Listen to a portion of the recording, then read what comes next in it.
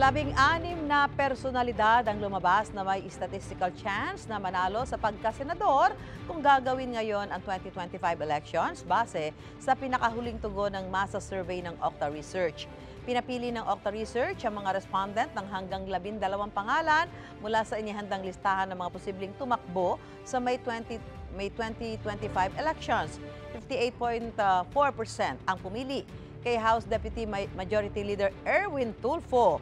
Kasunod niya, sina dating Senate President Tito Soto, Senador Bongo, Ben Tulfo, dating Pangulong Rodrigo Duterte, dating Senador Ping Lacson, Senador Bato de la Rosa. Kasama rin sina dating Senador Manny Pacquiao, Senador Bong Revilla, Senadora Amy Marcos, dating Manila Mayor Isko Moreno, Senadora Pia Cayetano, Senador Francis Tolentino, Senador Lito Lapid, Dr. Willie Ong at DILG Secretary Benher Abalos.